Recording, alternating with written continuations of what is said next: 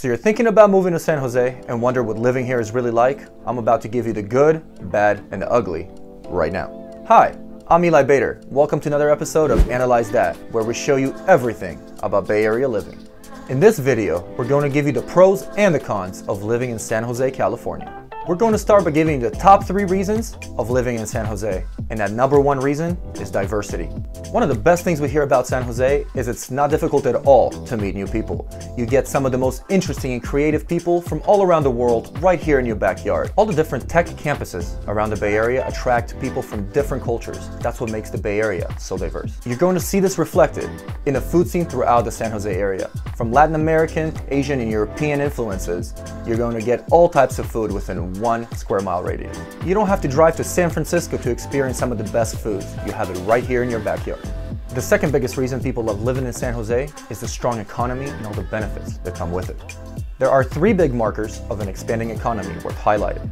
The job market, expansion projects, and population growth. This is why San Jose has been nicknamed the capital of Silicon Valley, with campuses for Google, Facebook, and Apple located right here. And it's because of that the average annual salary here is $30,000 more than the national average. In addition, San Jose's unemployment rates are among the lowest in the country.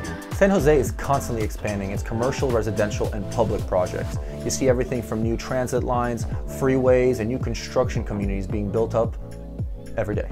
The third reason people love living here is because living in San Jose is so convenient and accessible. The infrastructure is what makes living here very attractive. For example, San Jose's airport, located right here, has over 50 nonstop destinations. One of our strengths is our public transportation system. Between BART, our light rail system, the VTA, and all the numerous bus and shuttle routes throughout town, you can get a ride from almost anywhere.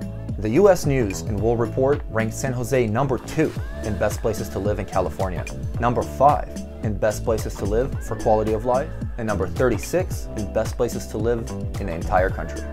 So those are some of the pros.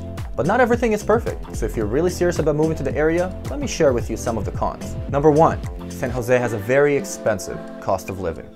The costs are eye-opening in comparison to other areas of the country, regardless where you're coming from. Even between cities in California, San Jose ranks among the highest in the cost of living indexes. That includes Los Angeles. The largest contributor to this is the cost of real estate, with the average home in San Jose going for 1.225 million.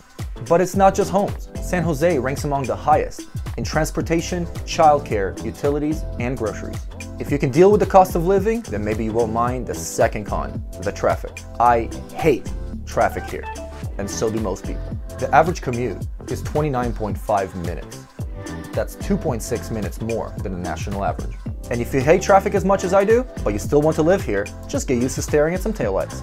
You're going to want to use apps like Waze to avoid accidents that will slow you down. Or what I like to do is plan my driving strategically. For example, I'll go to the grocery store at night when traffic is light.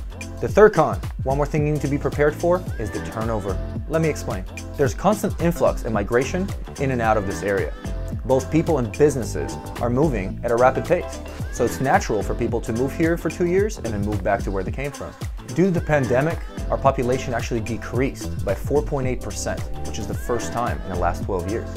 Well, I hope this video gave you some pros and cons to living in San Jose. We help people move and relocate to this area all the time, so please let me know how I can help. And if you have any more questions, please feel free to reach out. All my contact information is somewhere around this video. And if you want to watch more content, feel free to check out my YouTube channel or my website. Thank you so much for watching. This is Eli. Analyze that.